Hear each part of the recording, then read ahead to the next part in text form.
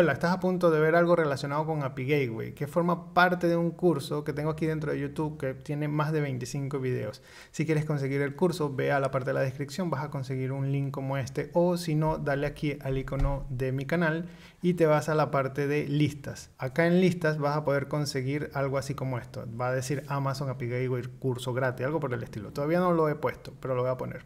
Ahora, al final de este video y de todos los videos del curso vas a encontrar dos etiquetas o dos pantallitas como esta que ves acá. Una de ellas te va a llevar al siguiente video de este y el otro al inicio de todo el curso. Nos vemos y suerte. Hola, vamos a entrar en el primer video de la parte de conceptos del curso.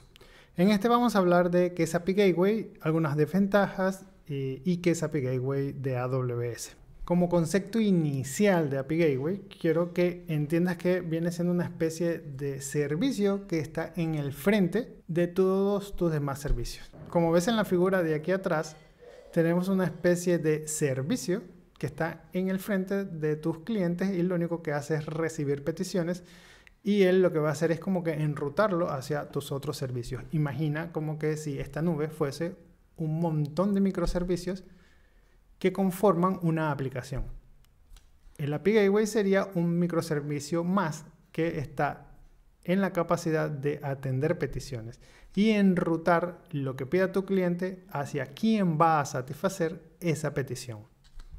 Obviamente dentro de tu aplicación. Ese sería el concepto básico, porque el funcionamiento básico de un API Gateway viene siendo simplemente el enrutar peticiones en el protocolo HTTP. Cuando un cliente hace una petición vía HTTP, es decir, usando el navegador, usando cualquier aplicación que le permita hacer peticiones de HTTP, nuestro API Gateway tomará esa petición, la evaluará y después la enrutará. Debido a que es un servicio que está en el medio de todos los demás servicios, él puede hacer otras cosas. Él podría tomar la petición, evaluarla, picarla, transformarla, filtrarla, hacerle un montón de cosas. Incluso no hacerla llegar al servicio que la va a responder, sino simplemente responder ella misma. Todo depende de lo que pueda hacer el servicio y de lo que se quiera hacer con esa petición. Pero en funcionamiento básico lo que hace es tomar una petición y enviarla al servicio que desee. Por ejemplo, aquí en la imagen tenemos una pequeña simulación en donde el cliente pide un servicio B y nuestro API Gateway lo enruta hacia el servicio B. Igual en, el siguiente, en la siguiente imagen tenemos que nuestro cliente pide un servicio A y el API Gateway lo enruta hacia ese servicio. Eso sería lo básico que hace un API Gateway. Ok, cuando administramos nuestro propio API Gateway, es decir, cuando nosotros tenemos nuestro servicio como cualquier otro microservicio dentro de nuestras plataformas, es decir, tenemos una especie de máquina virtual y ahí adentro tenemos nuestro API Gateway como servicio, lo estamos administrando nosotros mismos. Nosotros tenemos que velar por él y mientras estemos iniciando el proyecto, nuestro servicio no consumirá mucho y sus configuraciones y tanto sus usos de recursos serían pequeños y tendríamos algo así como esto. Tendríamos nuestro proyecto inicial con nuestro API Gateway con poquita memoria, poquito disco, poquito procesador.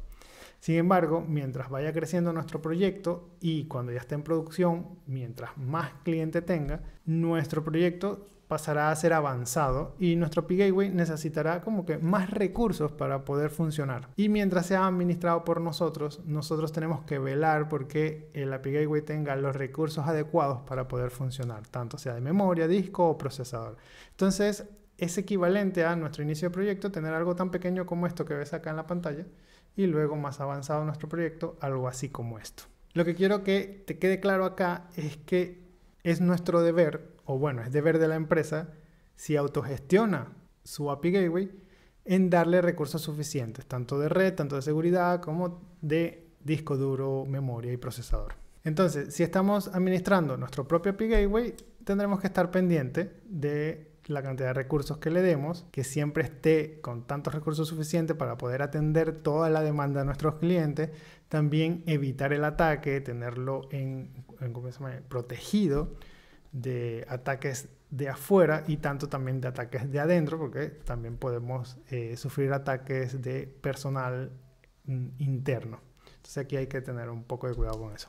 Aparte también debemos estar siempre configurándolo para que tenga disponibilidad y seguridad. API Gateways hay muchos. Hay muchas formas de crear un API Gateway. Acá en la pantalla te muestro uno que es creado con Spring Cloud Gateway, que vendría siendo una especie de framework o aplicación que genera código, digamos que es un framework, ¿ya? Este framework es capaz de crearte un API Gateway, el cual puedes rápidamente configurar para adaptarlo a software hecho en Java, especialmente en Spring Cloud. Yo no sé mucho de Java, por eso no te lo puedo explicar al 100%, pero lo único que quería mostrarte acá es que con frameworks tú puedes ya generar tu propio API Gateway para que lo gestiones tú. Y estos API Gateways vienen con ciertas cualidades o módulos aparte que te permiten hacer otras cosas. En este caso, este API Gateway, aparte de enrutar, te permite autenticar, autorizar, monitorear y crear límites de velocidad en cuanto a llamadas del API. Este tipo de característica va a depender mucho de cómo construyas ese API Gateway. Si lo construyes tú de manera manual, porque también podrías, le podrías poner un montón de cualidades extras que van con lo que tú desees agregarle.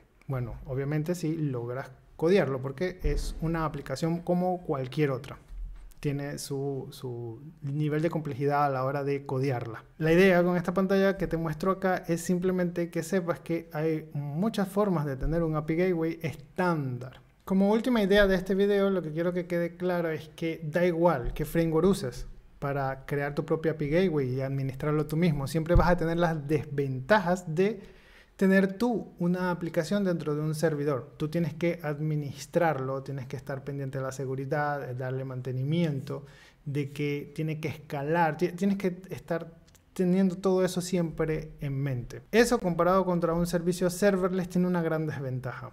En el siguiente video vamos a hablar de API Gateway de Amazon y las ventajas de ser serverless. Hola, recuerda que acá arriba tienes el link a el inicio del curso por si quieres verlo. Y por acá está el siguiente video a este. Nos vemos.